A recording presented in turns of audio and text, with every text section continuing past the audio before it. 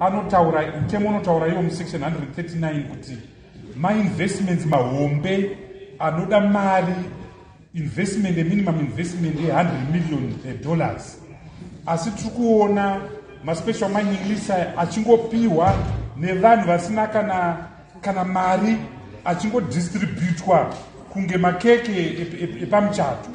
Ndoda kutaura maspecial ma mining leases ari kupiwa e, kuplatinum kunyanyanya imwe yakapiwa kambani yekurussia inonzi rushmore yakuita gdi e, e, investments. Yakatostopa izvozvi e, kutaura kuno e, kwandiri kuita.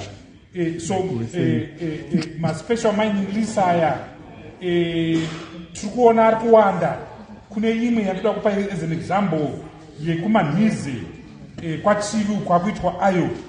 E, madam speaker manhidze yakapiwa mairon ore resources anoita iwo 43 billion metric tons one of the world's biggest uh, iron ore resources. Asi mari yauya kuzimbabwe?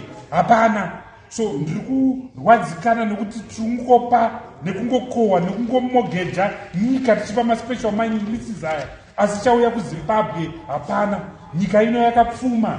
Madam speaker mama ndiri kukumbira kuti minista wemines vawinston chitando. Vauye kuti vazotitsanangurira pamudare rino kuti maspecial mining lease avapa from 2018 to now ndeapi two mari yawanikwa nezimbabwe ndeipi chechitatu criteria yavakashandisa ichipa mamaini iwayo ndeipi four investment yaitwa nemamaini iwayo ndeipi five wai vasina kuuya kudare rino reparamende kuti tibvume kuti tipe makambani iwayo maspecial mining lease because zimbabwe is now being morged madam speaker mam ndokutendai vachitando ngavauye vatitsanangurire nyaya dzemaspecial mining lease hatifaniri kutengesa zimbabwe inyika yevene vayo. Maita zvenyu batweni